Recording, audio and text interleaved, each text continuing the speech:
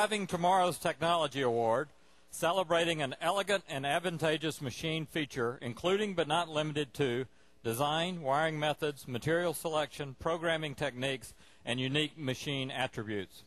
This, the team that wins this award must be able to describe in concise terms verbally, as well as demonstrate the chosen machine feature. This winning team was able to clearly describe as well as demonstrate their elegant machine feature. This team's robot has the ability to shoot in a full range of motion and to efficiently work with their alliance throughout its adaptive autonomous modes. Their robot's simple imaging switch controls which alignments align, alliance they are driving to, to success. This team is clearly able to raid the competition. Team 25. Bristol Myers Squibb, Infrared Remote Solutions in North Brunswick TWP High School. From North Brunswick, New Jersey, they're Raider Robotix.